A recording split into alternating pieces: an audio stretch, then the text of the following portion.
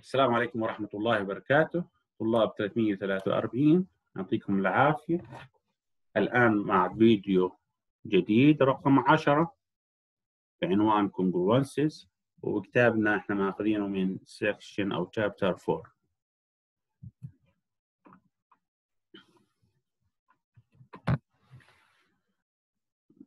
ركز نحاول بكل خطوة راح يكون تقريبا الكلام متتابع مع بعضه let n greater than or equals 1 and let a be in z we say that a is congruent to b modulo m and we write a equivalent to b modulo m ها هيك هاي معناها انه a is congruent to b modulo m متى if and only if m divides a ناقص b هذا هو العنوان الرئيسي في شابتر 4 شو يعني؟ congruent. فمثلا واحد is congruent to 5 modulo 4 هنا ما في قوس السبب إنه لاحظ أربعة تقسم واحد ناقص خمسة. أربعة تقسم سالب أربعة. ليه؟ لأن سالب أربعة عبارة عن سالب واحد في أربعة. الثمن آلاف ومية congruent ل zero modulo عشرة. ليه؟ لأنه عشرة تقسم ثمن آلاف ومية ناقص صفر اللي آلاف ومية طب ليه العشرة تقسم ثمن آلاف ومية؟ لأنه أحاده فيه صفر السالب 2 congruent to 9 modulo 11 ليه؟ لأنه ال 11 كونجروانت لناقص 2 11 تقسم سالب 2 ناقص 9 لسالب 11 نأخذ الآن نتائج معينة نظرية أخرى. A is congruent to B. Modulo M if and only if there exists K تنتمي لزيت such that إنه A تساوي B زائد KM يعني الفرق بين A و B هو مضاعفات الأم واضح من التعريف بس خلينا نبرهنها لاحظ if and if من يسار يمين من يمين يسار. من يسار يمين. Suppose that A is congruent ل B. Modulo M. فبدنا نثبت إنه ال A تساوي B زائد KM for some K. إنزين. Then حسب التعريف ال M divides A ناقص B. So that there exists في S أوكي. uh, a K in Z such that ها لاحظ. إنه ال A ناقص B تساوي KM انقل B لجهه ثانية بصير A تساوي B زائد KM في الاتجاه الآخر suppose that there exists K in Z such that A equals B زائد KM وتثبت انه الام تقسم A ناقص B معناها إنه A ناقص B تساوي KM معناها الأم تقسم A ناقص B. معناها ال A congruent to B modulo M حسب التعريف. نظرية أخرى. Every integer is congruent modulo M to one of the following صفر واحد لغاية M ناقص واحد. يعني أي integer modulo M لازم يطابق أو يكافئ واحد من هالأرقام هذول. من صفر ل M ناقص واحد. البرهان حقيقة حنستخدم ال division algorithm والنظرية اللي قبلها. Let a in Z according the division algorithm لما نقسمها على m there exists unique integer q and r so that a equals q m زائد r where صفر أقل أو يساوي أنا آسف هو أنا مش q هاي r أقل أو يساوي m ناقص واحد هنا r وليس q. نرجع للتعريف اللي قبله انه إذا كانت A تساوي B زائد KM فمعناته A تكافئ B بمقياس ال M معناها هون إنه ال A آه QM زائد R فمعناها ال A تكافئ R modulo R. نتذكر ال R هون وأنتم تنقلوا تصلحوها إنه الصفر محصور ال R بين الصفر وبين ال M ناقص واحد فاذا كل integer هو يكافئ واحد من هالارقام هاي الارقام هاي راح نسميها the set of residues modulo m. We call the number r in the theorem above is the least residue of a modulo m. يعني الرقم اللي بيكافئ ال integer a بنسميه the least residue of a modulo m.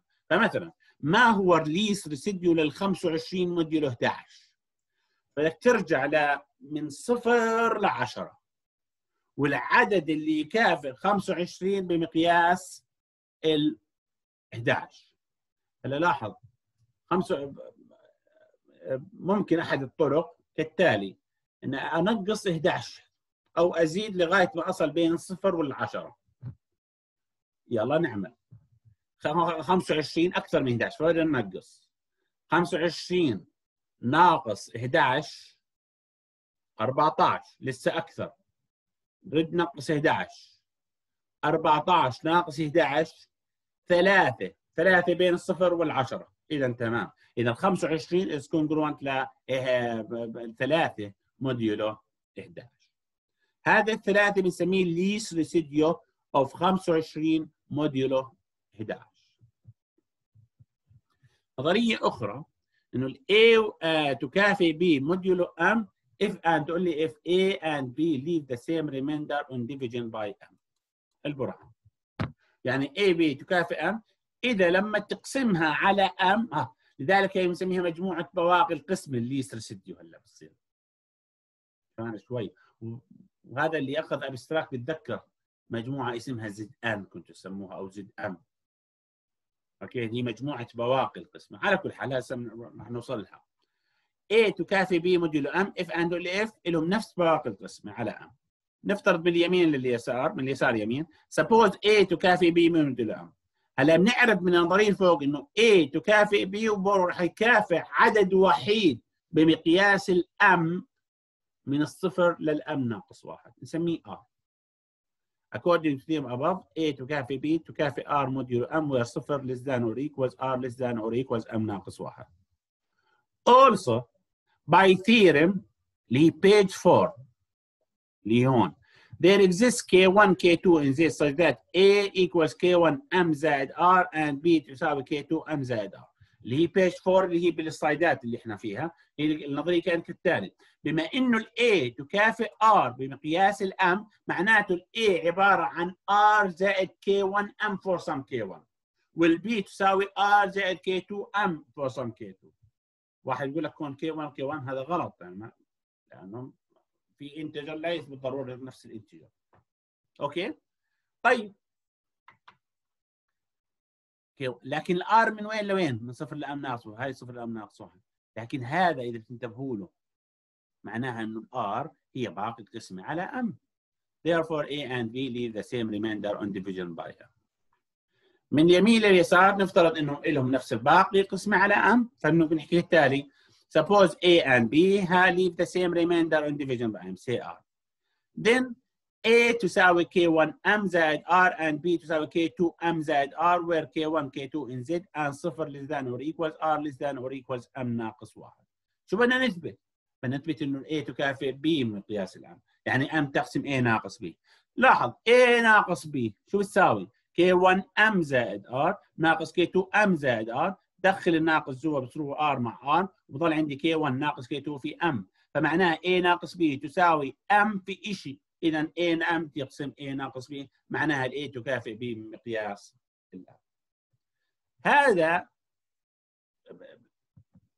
اذا صار عندي اللي بنقدر A تكافئ الإنتجر. موديول آم نقسمها لأعداد معينة هي كل مرة باقي قسمي وراح نشوف الباقي قسمي هاي راح تكون هي زي بتعطي كل المعلومات عن الكونجروانس من خلال إنه نثبت العلاقة التالية. The relation R defined on Z. هون أنا باستخدمت هاي مش لغة كتابنا لكن أنا بعرف إنه لما أخذت مساق ال 251 استخدمت هاي الريليشن بهذه الصورة. حبيت ما أغيرها. إنه A و B تنتمي للR if and only if A تكافئ B أو equivalent to B modulo M. فعملنا relation فهاي ال relation راح تكون equivalence relation.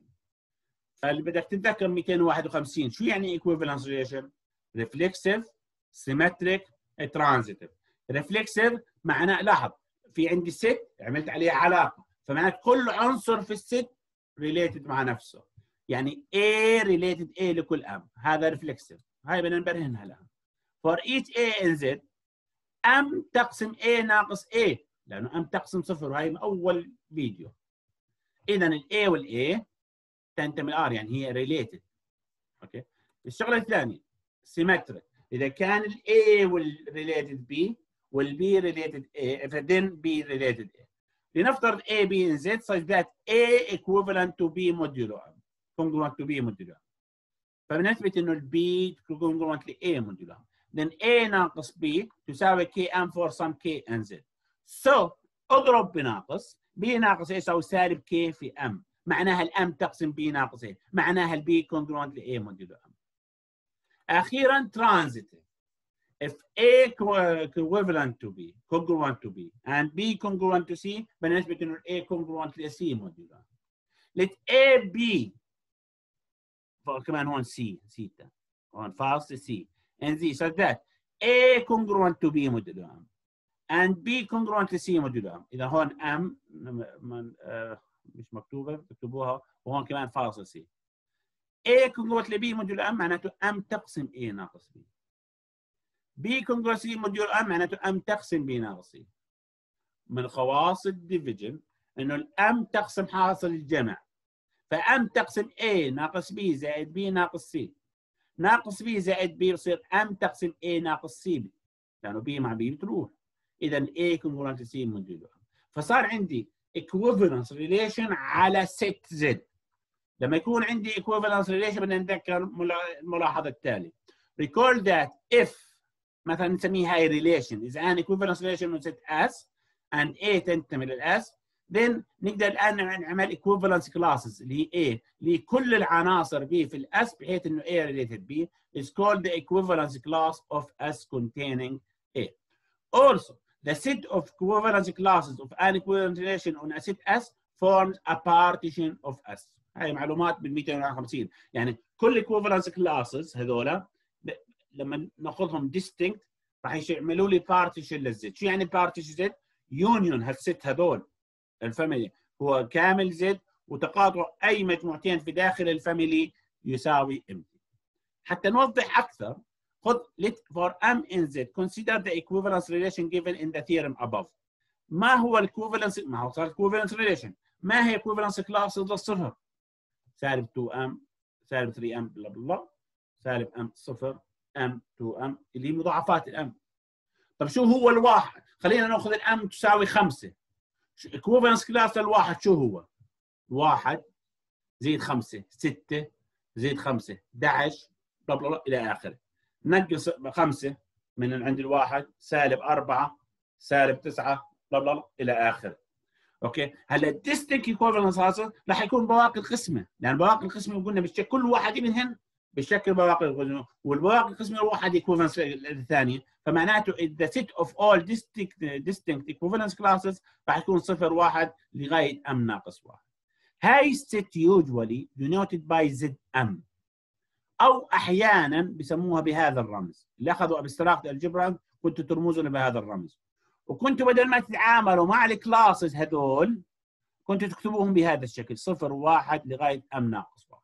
بس فعليا اللي أخذ abstract algebra قبل number theory هذا اللي كنت تأخذه هون كانت classes مش عدد حقيقي. هي مجموعة بتحوي صفر وأنت أخذت ممثل على ال class هذا. أوكي؟ فهون فهمناكم اللي أخذ abstract واللي ما أخذ abstract بالمستقبل لما تاخذ معك مجموعة اتذكر إنه هي بهذا الشكل. ولما كتبناها هون تقريبا تجاوزا بس متعودين انه نكتب بهذا الشكل. صفر واحد لغاية m ناقص واحد. فمجموعة هاي يكون the set of all least residue modulo 6 مثلا راح تكون صفر واحد اثنين ثلاث أربعة. هي فعليا حسب النظرية اللي حكيناها اللي هي مجموعة بواقي القسم. أوكي؟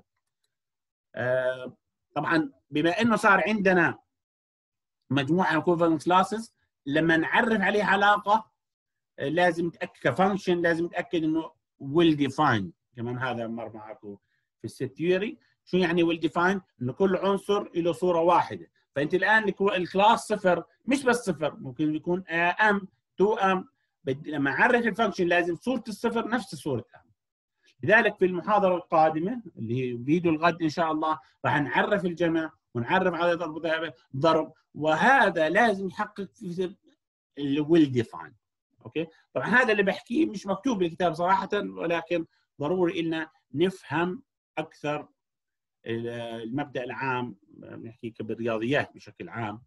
وهذا راح يؤدي إلى تطبيقات كثيرة إن شاء الله. هذا ما لدينا هذا اليوم. يعطيكم العافية وإلى اللقاء مع فيديو جديد. السلام عليكم ورحمة الله وبركاته.